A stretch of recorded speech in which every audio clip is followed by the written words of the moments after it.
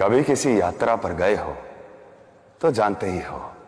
जितना कम सामान साथ लेकर चलोगे, यात्रा उतनी ही सरल होगी। हमारा जीवन भी तो एक यात्रा ही है, जिसमें भार उठाता है हमारा मन।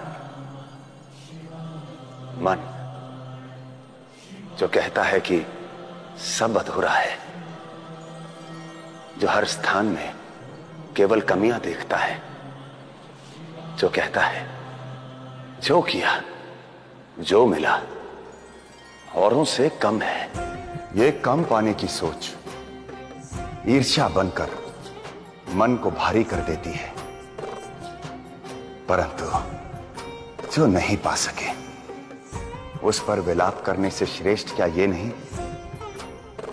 कि सच्चे मन से जो मिला है, उसका आभार करो।